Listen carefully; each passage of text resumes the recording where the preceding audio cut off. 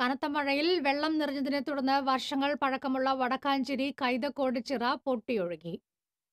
ചിറയിൽ നിന്നും വെള്ളം പുറത്തേക്ക് ഒഴുകുന്ന ഭാഗത്തെ മണ്ണ് നിറച്ച ചാക്കുകൾ കൊണ്ട് കെട്ടിയ ഭാഗം തകർത്താണ് വെള്ളം അതിവേഗം താഴെയുള്ള വീടുകളിലേക്ക് കയറിയത്. താഴ്ന്ന പ്രദേശത്തേക്ക് അതിവേഗത്തിലെത്തിയ വെള്ളത്തിലൂടെ ചില വീടുകളിലെ പാത്രങ്ങൾ ഉൾപ്പെടെയുള്ള സാധന സാമഗ്രികളും ഒലിച്ചുപോയി. വെള്ളം കയറിയ വീട്ടിലെ അമ്പാഴിപ്പിള്ളി സുശീലയുടെ തളർന്നു കിടക്കുന്ന മകൻ ലെനിനെ നാട്ടുകാർ ചേർന്ന് സുരക്ഷിതമായ സ്ഥലത്തേക്ക് മാറ്റി. ചെറുപാറ പുത്തൻപുരയ്ക്കൽ സുന്ദരന്റെയും കളപ്പുരയിൽ രവിയുടെയും വീടുകളുടെ നാല് വശവും വെള്ളം കയറിയ നിലയിലാണ്. അമ്മാത്ത് സുബ്രഹ്മണ്യന്റെ വീടിന്റെ ചാലിനോട് ചേർന്നുള്ള കരിങ്കൽ ഭിത്തിയും വെള്ളത്തിന്റെ കുത്തൊഴുക്കിൽ തകർന്നു. ഒഴുകിയെത്തിയ മലിനജലം വീടുകളിലെ കിണറുകളിൽ കയറിയതിനാൽ പലർക്കും ഇനി കുടിവെള്ളത്തിനും ബുദ്ധിമുട്ടേണ്ട അവസ്ഥയാണ്.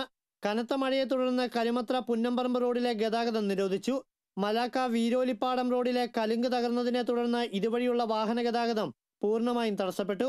പാർലിക്കാട് കോട്ടക്കുന്നത്ത് രാഘവന്റെ വീട് ഭാഗികമായി തകർന്നു. വടക്കാഞ്ചേരി ചാലിപ്പാടം കല്ലംകുണ്ട് എന്നീ സ്ഥലങ്ങളിൽ മരങ്ങൾ കടപുഴകി പുഴയിലേക്ക് വീണു. അകമല പാർലിക്കാട് എന്നീ സ്ഥലങ്ങളിൽ മരങ്ങൾ റോഡിൽ വീണ് ഗതാഗതം തടസ്സപ്പെട്ടു. വടക്കാഞ്ചേരി മേഖലയിൽ ആരംഭിച്ച ദുരിതാശ്വാസ ക്യാമ്പുകൾ മന്ത്രി എ സി മൊയ്തീൻ സന്ദർശിച്ചു. ക്യാമ്പിലെത്തിയ മന്ത്രി ഉദ്യോഗസ്ഥരുമായി ചർച്ച നടത്തി സ്ഥിതിഗതികൾ വിലയിരുത്തി. ക്യാമ്പിലുള്ളവർക്ക് എല്ലാ സൗകര്യങ്ങളും ഉറപ്പുവരുത്തുമെന്നും മന്ത്രി അറിയിച്ചു. ടി വടക്കാഞ്ചേരി.